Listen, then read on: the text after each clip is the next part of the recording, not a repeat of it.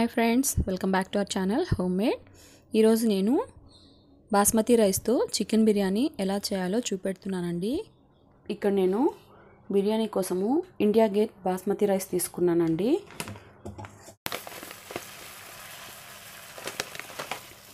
Measurement కోసము గ్లాస్తో కొలుచుకుంటున్నానండి two glasses rice తీసుకుంటున్నాను. మనము బిర్యానీ చేయాలి అనుకునే ఒక హాఫ్ అన్ అవర్ ముందు ఈ రైస్ని ఒకసారి వాష్ చేసుకొని నానబెట్టుకోవాలండి. శుభ్రంగా కడుక్కున్నానండి.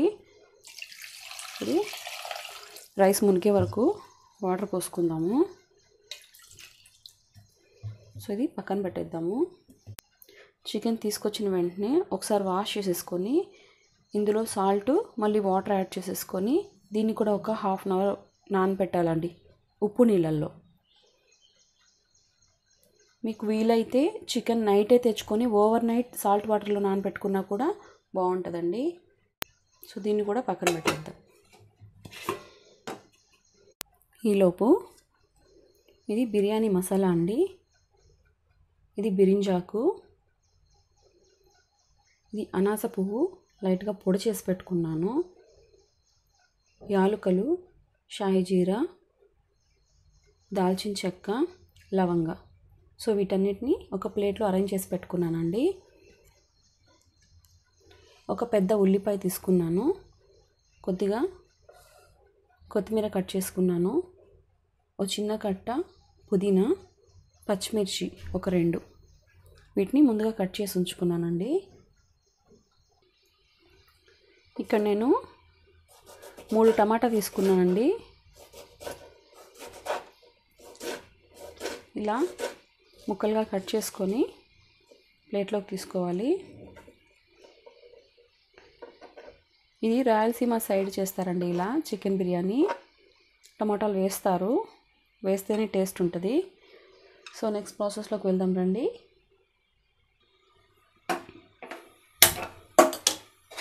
ఒక బాండీ పెట్టుకుందాము. ఆయిల్ యాడ్ చేస్తున్నానండి. సో ఇందులోనే నెయ్యి కూడా యాడ్ చేస్తున్నాను. ఒక టూ టేబుల్ స్పూన్స్ యాడ్ చేశానండి. ఇక్కడ ఆయిల్ వేడైందండి ముందుగా బిర్యానీ ఆకు వేసుకుందాము.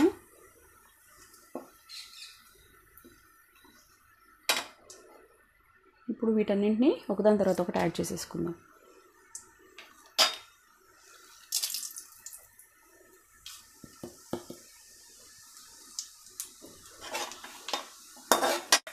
పచ్చిమిర్చి యాడ్ చేస్తున్నానండి.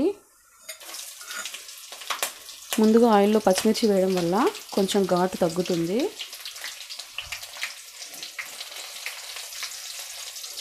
తర్వాత పుదీనా.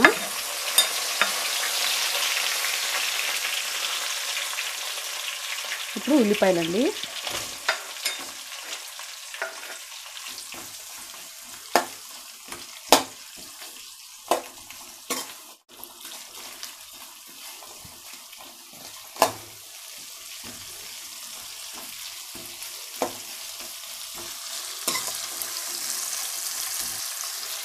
ఇలా చేస్తే అసలు వంట చేసినట్టు కూడా అనిపించదు. అంటే చాలా ఫాస్ట్గా అయిపోతుంది. బిర్యానీ చేయాలంటే అస్సలు టెన్షన్ లేకుండా సింపుల్గా చేసేయచ్చు నేను ఎప్పుడు బిర్యానీ చేయాలన్నా ఇలాగే చేస్తానండి. ఉల్లిపాయలు కొంచెం మగ్గినాయండి. ఇందులో ఒక టూ టేబుల్ స్పూన్స్ అల్లం వెల్లుల్లి పేస్ట్ యాడ్ చేసుకుంటున్నాను.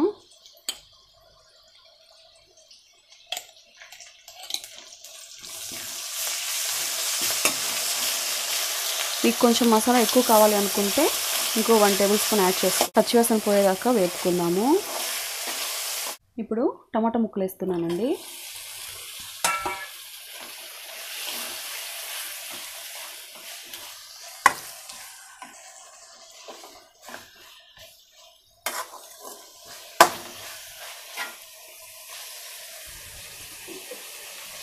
కాసేపు మూత పెట్టుకుందాము.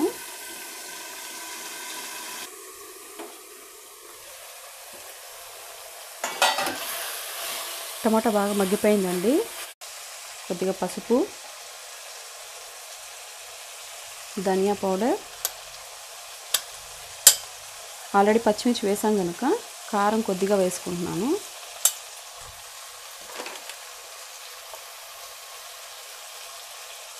గరం మసాలా. ఇది టేస్ట్ సాల్ట్ అండి. అజినోమోటో అంటారు. ఇది వేస్తే టేస్ట్ చాలా బాగుంటుంది. సో వీటన్నింటినీ ఒకసారి వేసి పచ్చివాసన పోయేదాకా వేయించుకుందాము. పోయిందండి సో చికెన్ని ఇందులోనే యాడ్ చేసుకుంటున్నాను.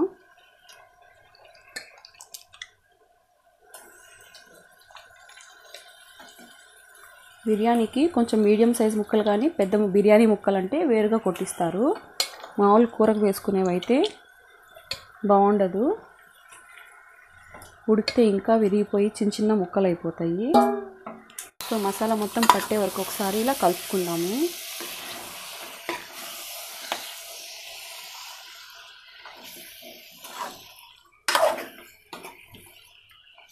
ఇందులో ఉప్పు ఏమి ఎక్కువ పట్టదండి. ఆల్రెడీ మనం ఉప్పు నీళ్ళలో నానబెట్టుకున్నాం కదా.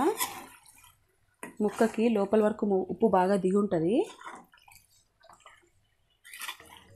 ఇక్కడ నేను కేజీ చికెన్ తీసుకున్నానండి.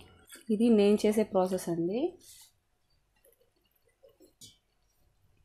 సో దీనికి మూత పెట్టేద్దాము.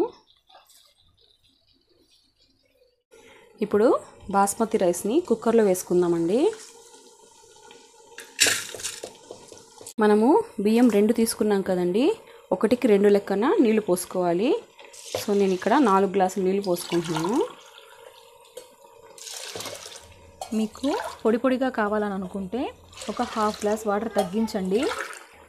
ఇక్కడ టమాటాలోంచి చికెన్లోంచి నీరు బయటకు వస్తుందండి. ఇంకా ఆయిల్ కూడా కౌంట్ చేసుకోవాలి.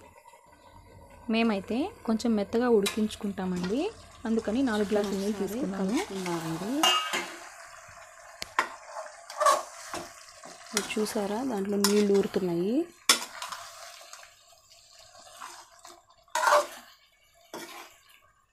మీకు టమాటా కావాలనుకుంటే ఇంకో రెండు కూడా యాడ్ చేసుకోవచ్చు. టేస్ట్ అయితే బాగుంటుందండి.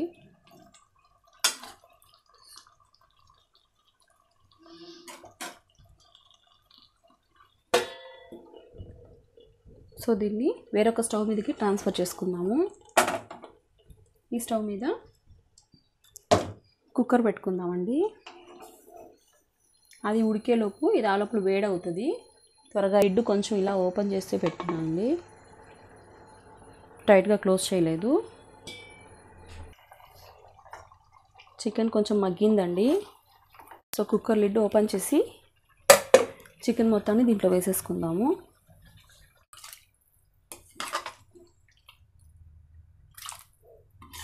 నేనైతే ఇక్కడ ఫుడ్ కలర్ ఏం యాడ్ చేయట్లేదండి. మనం ఆల్రెడీ టమాటా ఇంకా పసుపు కారం వేసాం కనుక ఆ కలరే వచ్చేస్తుంది. ఏంటి పైకి వచ్చేసిందని భయపడుతున్నారా? ఏం కాదండి. నేనైతే ఇప్పటివరకు టూ టైమ్స్ చేశాను. బాగా వచ్చింది. ఏం పాడవ్వలేదు. అంటే కుక్కర్లో ఇంత ఫుల్గా చేయడము టూ టైమ్స్ చేశాను. ప్రాబ్లం ఏం అవ్వలేదండి. సో ఇందులో రైస్కి సాల్ట్ కావాలి కదా. నేను one full teaspoon add చేస్తున్నానండి. ఇప్పుడు లిడ్ క్లోజ్ చేస్తున్నాను. ఇంత ఫుల్గా ఉన్నప్పుడు ఏం చేయాలంటే కొద్దిగా వేడెక్కేదాకా ఉంచి ఫ్లేమ్ని మీడియంలో పెట్టుకోవాలి. తర్వాత ఒక త్రీ టు ఫోర్ విజిల్స్ వస్తే సరిపోతుందండి.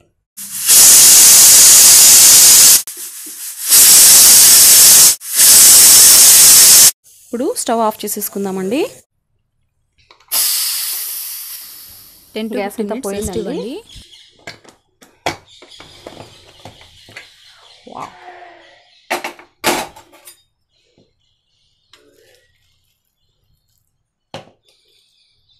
చక్కగా ఉడికిపోయిందంతా.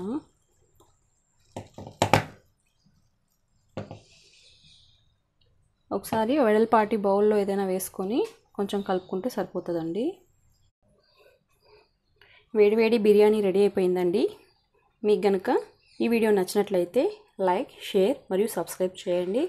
అలాగే పక్కనే ఉన్న బెల్ ఐకాన్ క్లిక్ చేయడం వల్ల నేను చేసే ప్రతి వీడియో మీకు నోటిఫికేషన్ ద్వారా వస్తుందండి. థ్యాంక్ యూ బాయ్ బాయ్ మరో వీడియోలో మళ్ళీ కలుసుకుందాం